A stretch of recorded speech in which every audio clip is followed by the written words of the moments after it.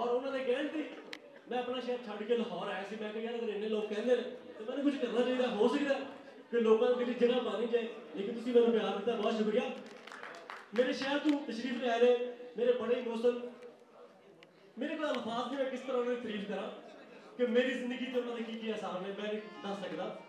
محمد یوسف صاحب، فاضل کا وٹو محمد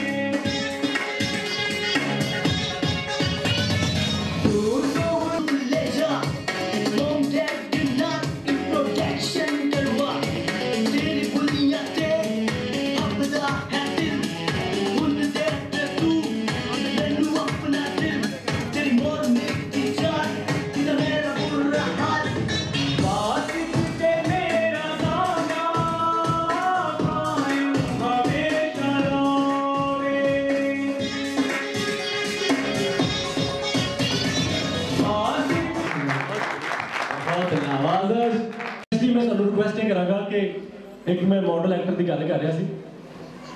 ਸੋਨੀਆ ਖਾਨ, ਉਹ ਸਾਡੇ ਦਰਮਿਆਨ ਮੌਜੂਦ ਨਹੀਂ ਔਰ ਮੇਰਾ ਲੇਟੈਸਟ ਜਿਹੜਾ ਗਾਣਾ ਤੁਸੀਂ ਸੁਣਿਆ ਰੇਡੀਓ ਤੇ ਚੱਲ ਚੁੱਕਿਆ ਹੌਲੀ ਹੌਲੀ ਅੱਖਾਂ ਵਿੱਚ ਅਥਰੂ ਤੇ ਸੁੱਕ ਗਿਆ ਹੌਲੀ ਹੌਲੀ ਅਸੀਂ ਤੈਨੂੰ ਭੁੱਲ ਭੱਲ ਜਾਵਾਂਗੇ।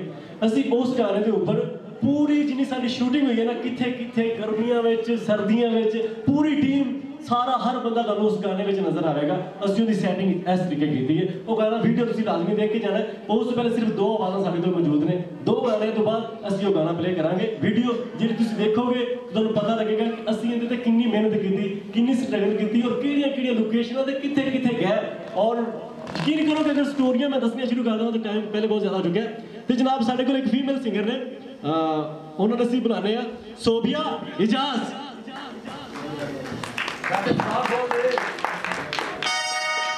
ਔਰ ਅਗਰ ਤੁਸੀਂ ਮੇਰਾ ਫਰਾਈਡੇ ਵਾਲਾ ਸ਼ੋਅ ਸੁਣਿਆ 8 ਤੋਂ 10 ਤੇ ਉਹਨਾਂ ਵਿੱਚ ਇਹਨਾਂ ਨੇ ਲਾਈਵ ਪਰਫਾਰਮੈਂਸ ਕੀਤੀ ਸੀ। ਨੂਰ ਜਹਾਂ ਸਾਹਿਬ ਦਾ ਗਾਣਾ, ਮੇਰਾ ਆਲ ਟਾਈਮ ਫੇਵਰਿਟ ਗਾਇਆ ਸੀ। ਕੱਲ ਪਰਸੋਂ ਤੋਂ ਮੇਰਾ ਦਿਲ ਨਹੀਂ ਲੱਗਦਾ। ਹੁਣ ਰਿਕਵੈਸਟ ਕਰਾਂਗਾ, ਅਗਰ ਅੱਜ ਉਹ ਹੀ ਕਰ ਦਿੰਦੇ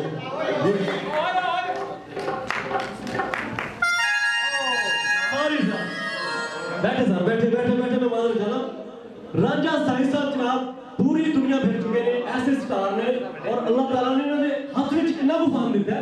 اے تو سینہ نے بھرک توڑ دیکھو گے کہ کیسے یہ کام کرتے ہیں؟ اور میں معذر چلنا رانجہ سائن صاحب کہ تو تھوڑا جائے کنفیوز ہے آسانوں کی طرح سے پھر اتنے مامے چل رہی ہیں سر۔